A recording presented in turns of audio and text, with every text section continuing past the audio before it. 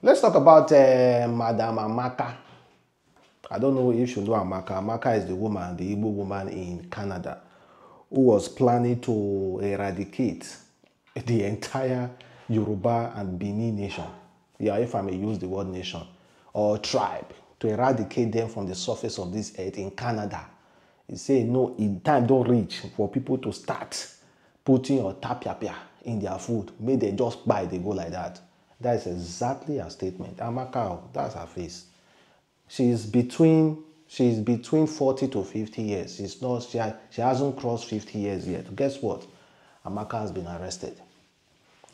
After the House of Rep wrote a petition to the Canadian embassy in Nigeria, and meanwhile the Canadian embassy immediately moved to action and uh, informed the Canadian authority, and the Canadian authority immediately swift to actions and immediately got Amaka arrested. So currently, Amaka is no longer a threat. We do not know what will happen to Amaka. We do not know. But what we know is that Amaka has compromised notable Igbo people here.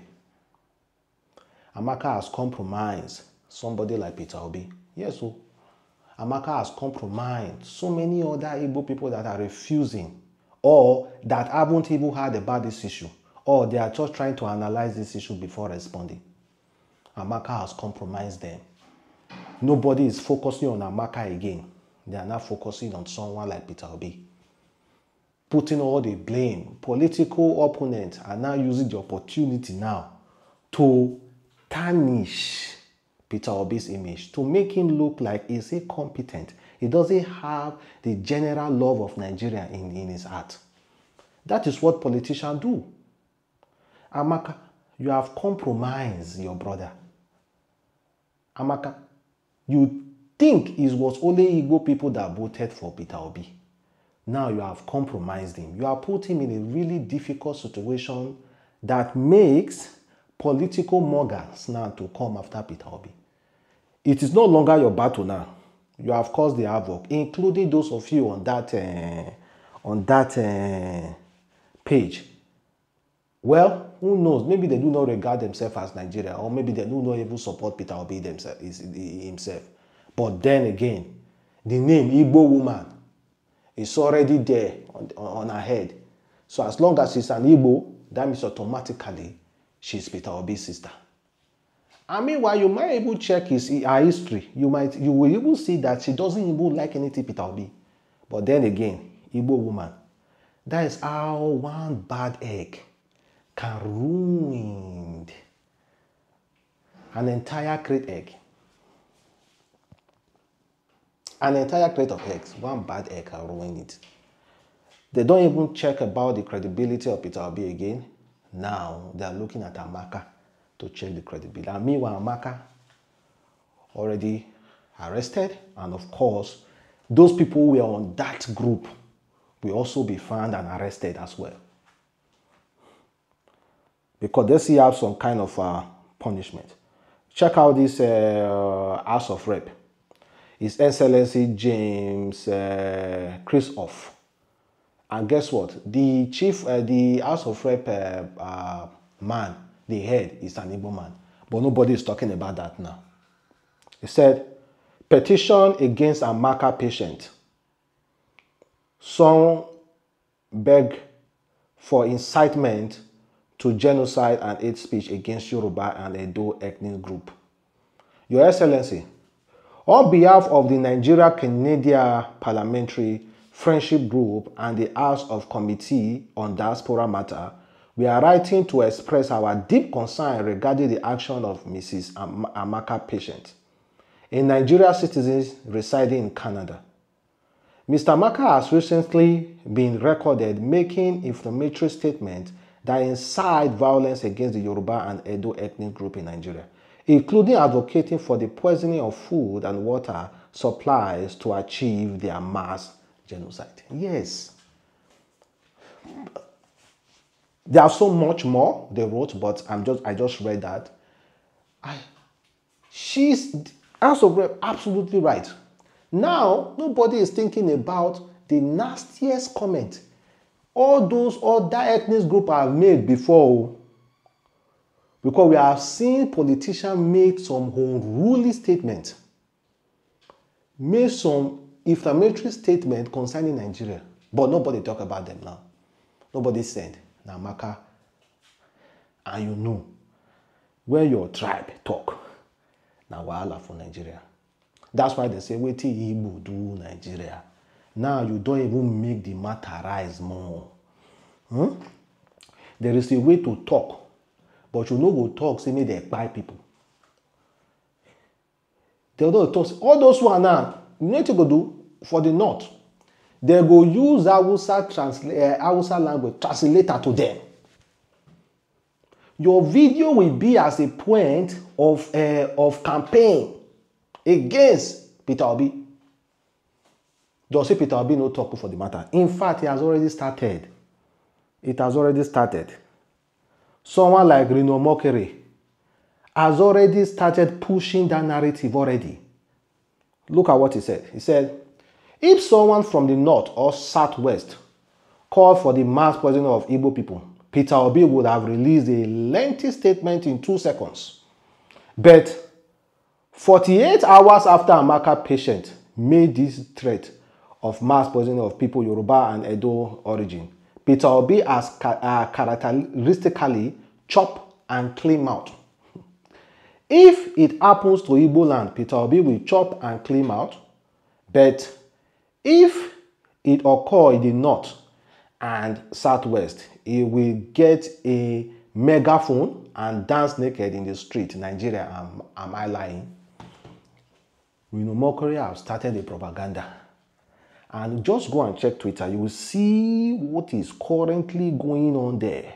This guy said, I am beyond uh, furious right now. To be honest, almost 24 hours have passed since that uh, lady went on TikTok live in Canada and called for Yoruba people to be okay in Canada and Nigeria. And what have we had from so-called Igbo leaders? Nothing. Absolutely nothing. The silent is, def is defending and is making my blood boil. Peter Obi, Obi uh, Z Wisiki, Wisili, uh, Charlie, and that one, Abaribe, where the hell are you fools? You were all quick to jump on Lagos uh, Pendia when they said Igbo must go, calling for his arrest and dragging him through every possible mud pit.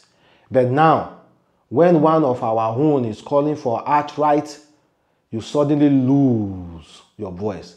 Are you kidding me?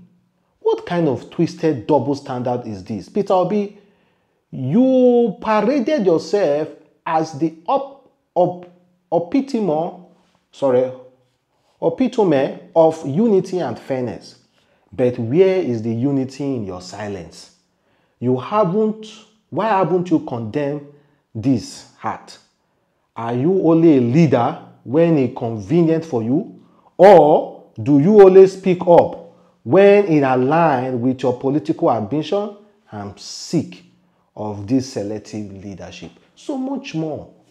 So much other comments. Peter Obi is being compromised. And this woman, eh, eh, the voice will be translated in Igbo, translated in Yoruba, translated in so many languages, cut across Nigeria, and shared to people.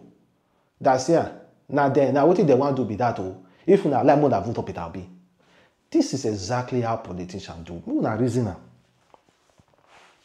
So now, Peter Obi is in a very difficult position. Hmm? So now, will he talk or will he not talk? It's like 48 hours now. It's going to like 50 something hours. Will Peter Obi talk or will he keep quiet? Because if he keep quiet for this matter, ah, they go use them against him oh, because I don't see the reason why he will keep quiet. He need to talk because he has already made himself available to make speech on every situation in Nigeria. So, since you have already made yourself like that, you have to keep talking and keep talking and keep talking. Because if Peter Obi do not respond to such things before, similar about national issue, nobody will drag Peter Obi to talk. But he always responds to every issue. That is why there is a need for him to also respond to this. If he no respond, they will say, hey, will they respond to other issue, Abi? But this one, no one respond. And meanwhile, let me just make this public appeal. The Igbo woman Amaka hmm, has been Amaka Patience, has been uh, arrested, and then the House of Rep have signed a petition against her. So I think uh, that is enough. Maybe that we must let us see what will happen. But then again, we know those people who are making so statement, the person who made the last statement is an Igbo man.